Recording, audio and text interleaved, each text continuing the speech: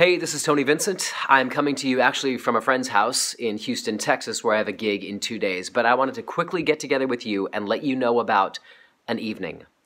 May 4th, 7.30 p.m., myself, your own Boulder Philharmonic, and Windborne Music are bringing you the music of David Bowie. You do not want to miss this evening. You know, if you're a David Bowie fan, his songs and his catalog of material are really epic in nature. But when you pair it with a symphony like this, it's almost like these songs take on a second life. They're grand, they're beautiful. The way they're orchestrated is just amazing. I join a five-piece rock band, Your Symphony. This is happening on May 4th at 7:30. Get your tickets now. It's going to sell out. You don't want to miss this. Macky Auditorium, 7:30 p.m., May 4th. I will see you there for the music of David Bowie. Cheers.